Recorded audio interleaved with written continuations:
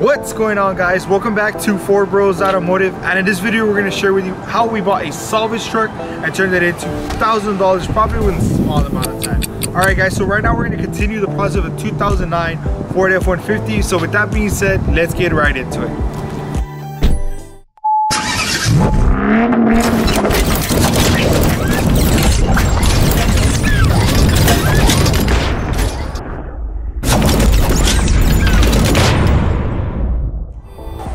Okay guys, now that the truck is here at the shop, we're gonna start taking off the rear bumper to see what parts we need to replace. Alright guys, so we went ahead and started working on the truck. Before anything, start by grabbing yourself some tools. In this case, we'll need a wrench and a flathead screwdriver. After picking out the tools, we began to remove the bumper with a 21mm wrench. The bumper itself had two bolts on each side, so we went ahead and removed them with a wrench. In addition, remember always to wear eye protections at all time and if you can, also wear gloves.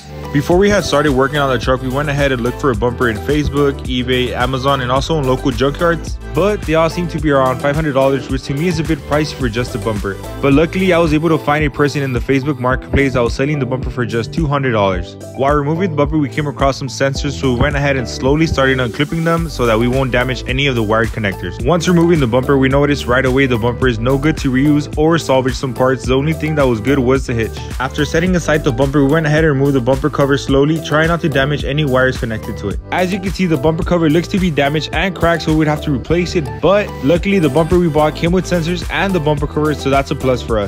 After removing the bumper, we went ahead and checked the frame to see if it needed to be aligned so that the new bumper could fit into place, but by the looks of it, it is not damaged. Now that we removed the rear bumper, it gives us space to work on the damaged panel, but before anything, we have one more part to remove, which is the tail light. So we went ahead and removed it with the drill. After removing the tail light, we went ahead and straightening the rear panel as much as we could and grinding off all the old paint till we hit bare metal, so that the Bondo could do its job.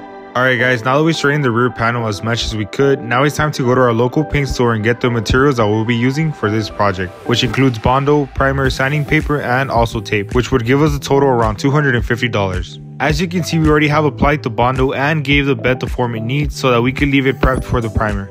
We have now applied primer onto the section that will need to be painted. Now it's time to sand it down and fix all the minor details so they won't show onto the final spray. Also make sure to remove all the old paper and tape so you won't have dust falling onto the freshly painted parts. So make sure you retape all the areas that you don't want to paint. Alright guys, now that the truck is fully prepped, we went ahead to our local paint store to get the material that we'll be needing to paint the truck, which in this case we will just need a quart of paint and clear, which gave us a total of $150. Now it's time to go back to the shop and get the truck painted. Well guys, the truck has been freshly painted with the final layer of clear coat. We usually give the truck around 3 layers of clear so that we can have enough space to give the truck a good buff after the paint has been fully dried. We typically give the cars around 3 to 6 days out in the sun before we give them a wash. Now it's time to wait for the paint to fully dry up so that we can start giving the truck a wash.